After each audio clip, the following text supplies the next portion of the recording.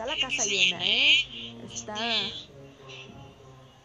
ahí el coach de tercera preparando a sus muchachos y es que hay un out en la pizarra, Zabaleta, y estos acereros que algo han demostrado durante esta liga invernal mexicana es que cada oportunidad que el béisbol les da, la aprovechan perfectamente. La diferencia es de dos carreras. Estamos esperando a Alan Olivarría con su lanzamiento. Aquí sale un batazo muy elevado por parte de Ulises Núñez. Lo busca el jardinero derecho y va chocar contra la malla.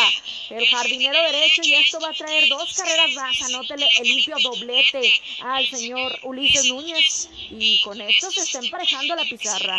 En la parte alta del octavo capítulo tenemos juego nuevo en el Estadio de la Revolución. Lo decíamos, querida Vanessa, con estos acereros no te podías estar confiado. Ha sido una pesadilla la octava entrada para el picheo del equipo lagunero y bueno, pues ya están empatados vinieron de atrás los acereros, pero esto no acaba, ¿eh? Va a haber hombres en segunda y en tercera con un solo tercio. Se fue Edgar Salazar, se fue Edgar Salazar del compromiso después de negociar el boleto, así que ahora corre por la tercera almohadilla con el número 37, David. Y es que lo mencionaba Zabaleta, había Cuesta, perdón, David Cuesta. Muchísimas gracias, David. En lugar de Edgar Salazar, David Cuesta. Muchísimas gracias. Y es que lo decíamos, ¿qué pasó precisamente con este hombre Ulises Núñez? Lo dijimos, estaba silenciosamente, peligrosamente silenciado.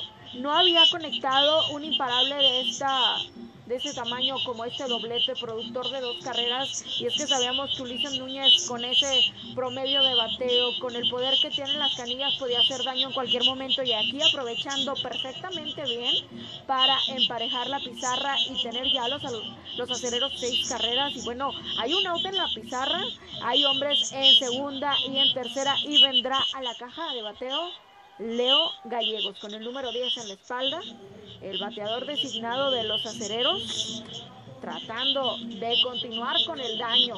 Han hecho un buen rally ya de cuatro carreras los acereros en esta entrada. Y Ulises Núñez, insisto, el hombre temido por, los, por la, el bullpen de estos algodoneros.